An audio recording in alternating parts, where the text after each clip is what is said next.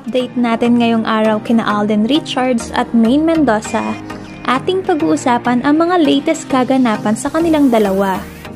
Pero bago yan, nais ko po munang pasalamatan at batiin ang mga maka-Aldab, maka-Maychard, Team Bahay, Team Abroad, mga senior citizens, at ang lahat ng walang sawang sumusuporta kina Alden at Maine, gayon na rin sa ating channel.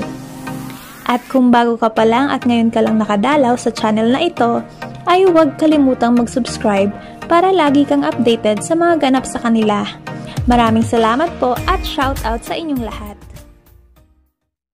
Sa katatapos lang na epic finale episode ng teleseryeng The World Between Us kagabi, umapaw ang pasasalamat galing sa crew, staff, director, producers at sa lahat ng mga artista na bumubuo ng naturang teleserye.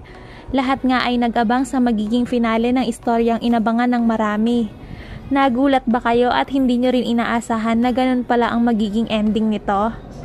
Grabe, halos halo-halong emosyon. Super gagaling ng lahat ng mga artista lalong-lalo na sina Alden at Jasmine. It was a successful and beautiful show. Hindi siya yung typical na teleserye na halos pare-pareho at alam na alam mo na kung ano ang magiging ending. They kept us guessing until the end. Kaya naman andun yung thrill at excitement. Kaya naman super trending nga at usap-usapan pa rin ito magpasa hanggang ngayon sa social media.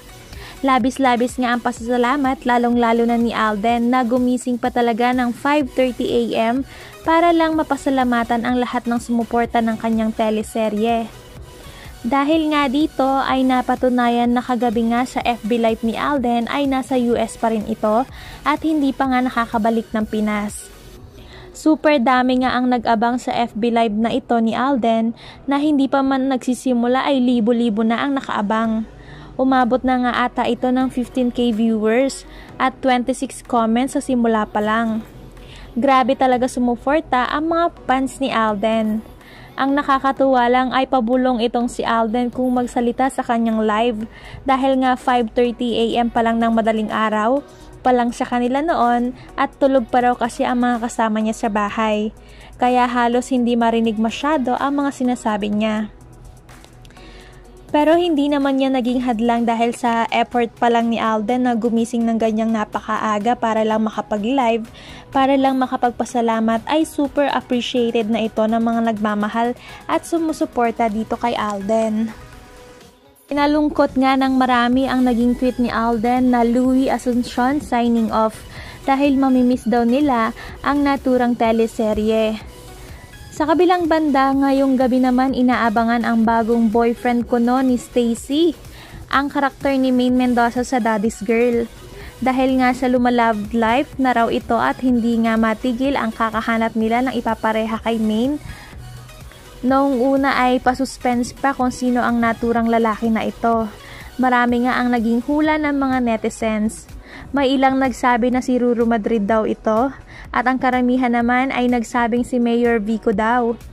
Pero heto nga at ibinulgar na nila na si Yasser Marta nga ang nasabing lalaking magiging kapareha ni Maine sa Daddy's Girl. At sa isang interview nga ng bagong makakapareha nitong si Maine ay may inamin ito. Ayon sa kanya, First time ko siya makasama sa isang set. Makasama sa isang acting job talaga.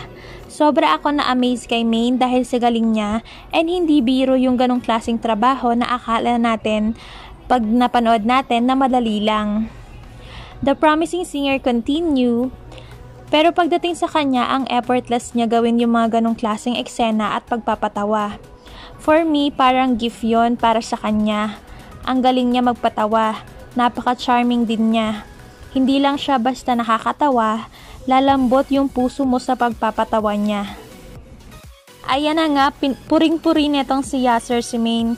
Kahit sino naman ang makatrabaho nitong si Maine Mendoza ay puro good feedbacks naman ang naririnig natin dahil yun naman talaga kung sino ang isang Maine Mendoza. Pakaabangan natin ang episode na yan sa Daddy's Girl tonight. Sana nga ay mag-click ito. Yun ay kung mahanap nila ang chemistry kuno na ipapareha sa magkiklik na magiging kapartner ni Maine Mendoza. Kayo, anong opinion nyo patungkol dito? Please comment down below. And that's it para sa aking update para sa video na ito. Kung bago ka pa lang sa aking YouTube channel, please don't forget to like and subscribe at pakihit mo na rin ang notification bell para maging updated ka sa ating mga susunod pang videos. Thank you so much for watching!